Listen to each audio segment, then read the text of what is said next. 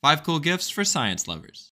First up is this levitating spinner. When done correctly, you can spin the top and have it levitate for over a minute. The key here is when done correctly. It probably took me about an hour to make all the necessary adjustments to make it work. Next up is the Lollipopter, which is a cheaper version of the Helicone from last year. Spin the Lollipopter to transition between the helical shape and more of a tree shape. Next is the Heng Balance Lamp. The cool part about this lamp is that you turn it on and off using these magnetic balls on strings. The next one is for anyone who loves statistics, and that's the Galton board. This device is filled with tiny metal balls, and when you flip it over, the balls fall and create a normal distribution.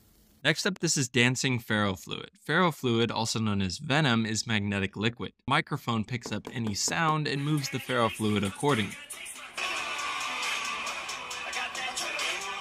You can also place it near a TV to watch it move to the audio of the show while you watch. First up, grab a glass bottle. I've put links to these on my website or check out the full video for more.